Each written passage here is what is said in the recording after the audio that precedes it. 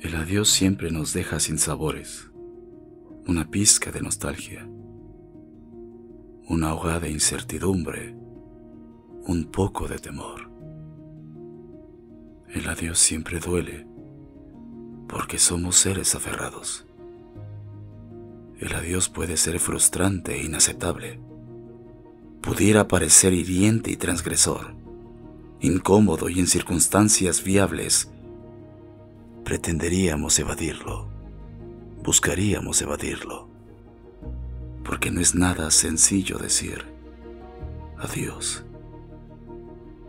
Pero en algún punto en nuestra línea de tiempo, regresaremos a revivir en la memoria lo bello, a abrazar lo que vivimos, lo que aprendimos, y sabremos que decir adiós es un acto de valentía, de rebeldía, los grandes hombres y mujeres de nuestra historia siempre dijeron adiós a algo o a alguien y lograron transformar su mundo.